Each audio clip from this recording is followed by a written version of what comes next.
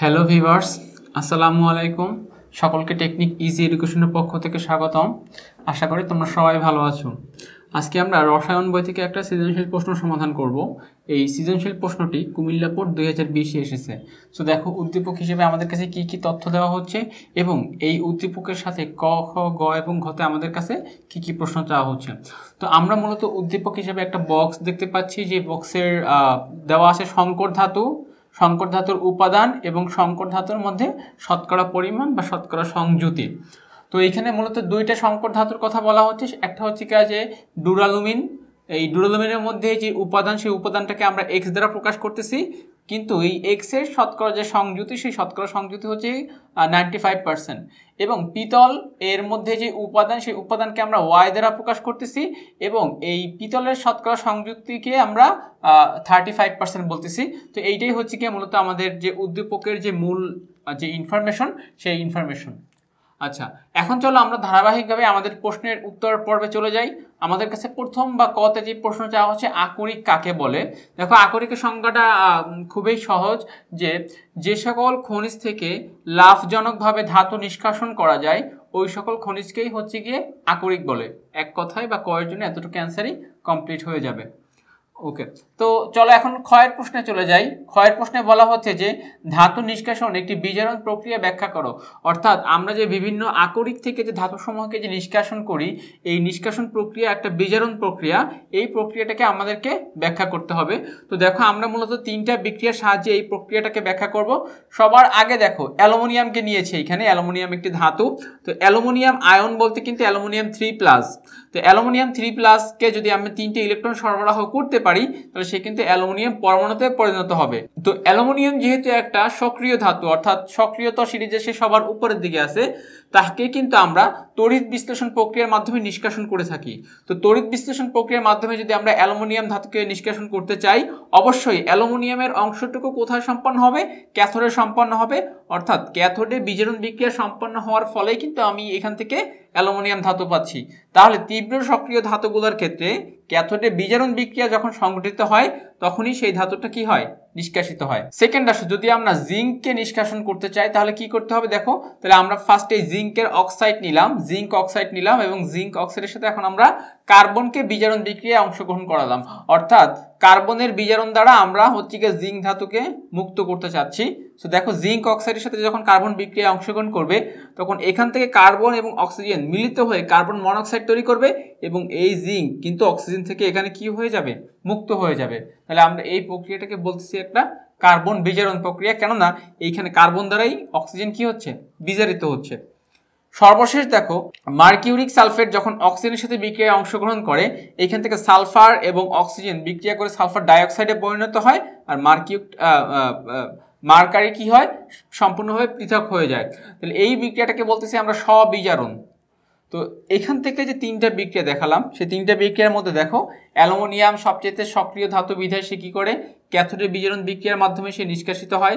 Zinc, মধ্যম সক্রিয় বিধায় সে কার্বন দ্বারা হচ্ছে গিয়ে যে সব কার্বন দ্বারা বিজারণ প্রক্রিয়ায় অংশগ্রহণ করে এবং সেখান থেকে কিন্তু জিঙ্ককে আমরা মুক্ত অবস্থায় পাচ্ছি এবং মার্কিউরিক সালফেট এবং অক্সিজেন যখন বিক্রিয়ায় অংশগ্রহণ করে, সেখানে কিন্তু সালফার ডাইঅক্সাইড এবং মার্কারিকে পেয়ে যাচ্ছি, যেটাকে বলতেছি আমরা সব বিজারণ তাহলে প্রত্যেকটা ধাপের মধ্যেই কিন্তু আমার বিজারণ যে প্রক্রিয়াটা, সেই প্রক্রিয়াটা কিন্তু জড়িত। এই জন্য বলা হয় যে ধাতু নিষ্কাশন একটি বিজারণ প্রক্রিয়া। আশা করি তোমরা ক্ষয়ের জন্য যেই যেই অ্যান্সারের যে ব্যাখ্যাটুকু প্রয়োজন, সেটা তোমরা বুঝতে পেরেছ। চলো আমরা গয়ের প্রশ্নে চলে যাই। পর্যায় সারণীতে ওয়াই এর অবস্থান নির্ণয় করো। তো দেখো আমাদের গয়ের অ্যান্সারটা কীভাবে হবে? দেখার চেষ্টা করো। সো দেখো, আমাকে কিন্তু গতে পর্যায় সারণীতে ওয়াই এর অবস্থান নির্ণয় করতে বলা হয়েছে।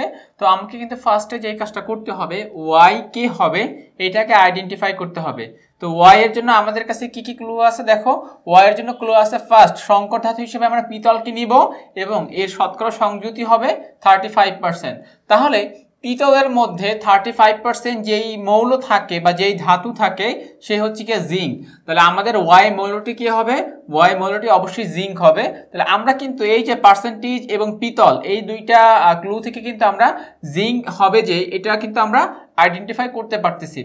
তো মূলত গয়ের প্রশ্নে আমাকে জিঙ্ক এর অবস্থান পর্যায় সারণীতে নির্ণয় করতে বলা হয়েছে। এখন দেখো, তাহলে জিঙ্ক একটি মৌল পর্যায় সারণী, যার পারমাণবিক সংখ্যা কিন্তু থার্টি তো ইলেকট্রন বিন্যাস যদি আমরা করতে চাই, তাহলে কি করতে হবে? One S two two S two two P six three S two three P six four S two three D ten যেটিকে মূলত আমরা বন্টন রীতি বলতেছি। অর্থাৎ ইলেকট্রন বন্টন করার যে সিকোয়েন্স সেই সিকোয়েন্স অনুযায়ী বন্টন করলে আমার থ্রি ডি টেনে আমার ত্রিশটি ইলেকট্রন শেষ হয়ে যাচ্ছে।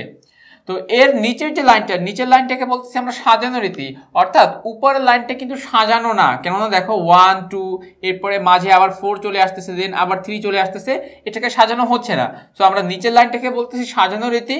সাজানো রীতিটা ওয়ান এরপরে এরপরে আসবে টু তাহলে টু এর মধ্যে আবার টু এসটা আগে আসবে, এরপরে টু পি দেন আসবে থ্রি এর সিকোয়েন্স তাহলে থ্রি এর মধ্যে আবার থ্রি এস আগে, এরপরে থ্রি পি এবং থ্রি ডি যে কিনা বন্টন রীতিতে আগে সবার শেষে ছিল, সে কিন্তু এখন সাজানো রীতিতে আগের ঘরে চলে আসবে এবং সবার শেষে যাবে কত? ফোর এস অর্থাৎ ফোর এস টুটা এখন সবার শেষে চলে যাবে, যেটাকে বলতেছি আমরা সাজানো রীতি। তাহলে আমরা বন্টন রীতি এবং সাজানো রীতি ফলো করলাম। এখন আসো গ্রুপ কত হবে? গ্রুপ হবে হচ্ছে কি two plus ten equal to twelve হবে হচ্ছে কি আমার গ্রুপ জিঙ্কের তাহলে আমরা টু প্লাস টেনটা কীভাবে নিলাম দেখো? সাজানো রীতি থেকে, অর্থাৎ আমাদের যে সাজানো রীতি সেখান থেকে সর্বশেষ এস ও ডি এর মোট ইলেকট্রন তো সাজানো রীতি থেকে সর্বশেষ এস বলতে ফোর এস টু তাহলে এখানে এস এর উপর মোট কয়টি ইলেকট্রন আছে? দুইটা। তাহলে সেই দুই হচ্ছে নেওয়া হচ্ছে। প্লাস সর্বশেষ ডি এরটাও নিতে হবে। তাহলে সর্বশেষ ডি বলতে থ্রি ডি যেখানে ইলেকট্রন আছে কয়টা? মোট দশটা। তাহলে plus ten equal to twelve তাহলে এই টুয়েলভ হবে হচ্ছে গিয়ে জিঙ্কের গ্রুপ সংখ্যা। পর্যায় কত হবে? পর্যায় হবে চার। চারটাকে আমরা কীভাবে নিলাম? দেখো, সাজানো রীতি থেকে সর্বশেষ এস এর সহগ। তাহলে এইটা আবার সাজানো রীতি, সর্বশেষ এস বলতে ফোর এস যেখানে এস এর সহগ কত? ফোর অতএব আমার পর্যায়টা কত হবে? ফোর হবে। সো আশা করি এভাবে আমরা পর্যায় সারণীতে জিঙ্ক মৌলের যে অবস্থান, সেটা আমরা গ্রুপ এবং পর্যায় আকারে আমরা নির্ণয় করলাম। আমাদের গ্রুপ হচ্ছে টুয়েলভ এবং পর্যায়টা হচ্ছে গিয়ে ফোর তো গয়ের জন্য এতটুকু লিখার পর হালকা কিছু কথা লিখে দিলেই আমাদের গয়ের অ্যান্সারটি অ্যাপ্রোপ্রিয়েট হয়ে যাবে। চলো আমরা আমাদের ঘয়ের প্রশ্নে চলে যাই। ঘয়ের প্রশ্নে কি বলছে দেখো এক্স এবং ওয়াই ধাতু নিষ্কাশন পদ্ধতি ভিন্ন, বিশ্লেষণ করো। তাহলে আমরা কিন্তু ওয়াই সম্পর্কে একটা আইডিয়া পেয়ে যাচ্ছি। ওয়াই হচ্ছে গিয়ে কে? জিঙ্ক এখন আসলে এক্স ধাতু কে হবে? সেটাকে আইডেন্টিফাই করতে হবে অ্যান্ড দেন এদের নিষ্কাশন প্রক্রিয়া আমাকে ধারাবাহিকভাবে বর্ণনা করতে হবে। সো দেখো কাজটা আমরা কীভাবে করি। সো দেখো, ঘতে কিন্তু আমাকে হচ্ছে গিয়া যে যেই কাজটা করতে হবে, সেটা হচ্ছে গিয়া এক্স এবং ওয়াই ধাতু নিষ্কাশন পদ্ধতি ভিন্ন, আমাকে এটা ব্যাখ্যা করতে হবে। তো আমার প্রথম কাজই হচ্ছে গিয়া যে এক্স কি হবে সেটা বের করা। কেননা আমরা কিন্তু গতে ওয়াই কি হবে সেটা সম্পর্কে অলরেডি আইডিয়া পেয়েছি যে ওয়াই ধাতুটি হচ্ছে গিয়া যে জিঙ্ক তাহলে এক্স কি হবে দেখো এক্স সম্পর্কে বলা আছে, সংকর ধাতু হিসেবে আছে কে? ডুরালুমিন এবং শতকরা সংযুতি হচ্ছে গিয়া যে নাইনটি ফাইভ পার্সেন্ট তাহলে আমরা বলতে পারি এক সমান সমান অ্যালুমিনিয়াম, কেননা ডুরালুমিনের মধ্যে হচ্ছে গিয়া যে নাইনটি ফাইভ পার্সেন্ট অ্যালুমিনিয়াম থাকে। তাহলে আমার এক্স ধাতু হচ্ছে অ্যালুমিনিয়াম এবং ওয়াই ধাতু হচ্ছে গিয়া জিঙ্ক অ্যালুমিনিয়াম ধাতু নিষ্কাশন। দেখো, অ্যালুমিনিয়াম যেহেতু একটা সক্রিয়তা সিরিজের উপরের দিকে তার অবস্থান, অতএব অ্যালুমিনিয়ামকে আমরা তড়িৎ বিশ্লেষণ প্রক্রিয়ার মাধ্যমে আমরা অ্যালুমিনিয়াম ধাতুকে নিষ্কাশন করতে পারি। তো এখানে যে ব্যাপারটা, সেটা হচ্ছে কি যে আমাদের অ্যালুমিনিয়াম আকরিক নিতে হবে, আর অ্যালুমিনিয়ামের আকরিক হচ্ছে কি বক্সাইড। যেই বক্সাইডের মধ্যে মূলত অ্যালুমিনিয়াম অক্সাইড থাকে, তো এই অ্যালুমিনিয়াম অক্সাইডকে আমরা ফার্স্টে আয়োনাইজ করতে চাই।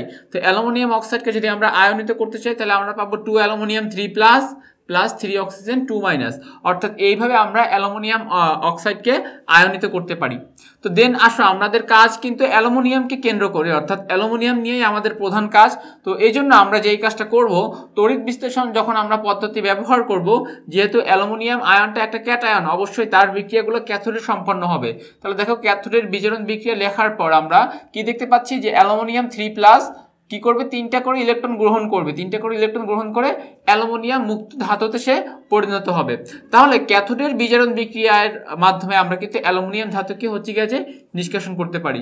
তো যদি আমি এখানে দুইটা অ্যালুমিনিয়ামকে নিষ্কাশন করতে চাই, তখন কিন্তু আমার ছয়টা ইলেকট্রন প্রয়োজন হবে। তো একটা থেকে জাস্ট আমরা উদাহরণটা দিচ্ছি। বাকি তুমি যদি দুইটা নাও দেন ইলেকট্রন প্রয়োজন হবে ছয়টা। তিনটা নিলে ইলেকট্রন প্রয়োজন হবে নয়টা। জাস্ট এইভাবে গুণিত আকারে জিনিসগুলো বা ইলেকট্রন সংখ্যাগুলো আস্তে আস্তে বাড়তে থাকবে।